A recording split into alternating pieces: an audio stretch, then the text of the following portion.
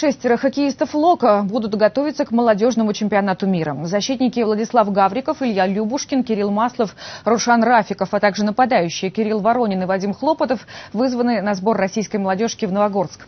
Ее наставник Михаил Варнаков дал шанс 29 игрокам, из них в заявку команды попадут 23. Молодежный чемпионат мира пройдет с 26 декабря по 5 января в шведском Мальме. Кроме хозяев турнира, россияне в группе выступят против сборных Финляндии, Швейцарии и Норвегии.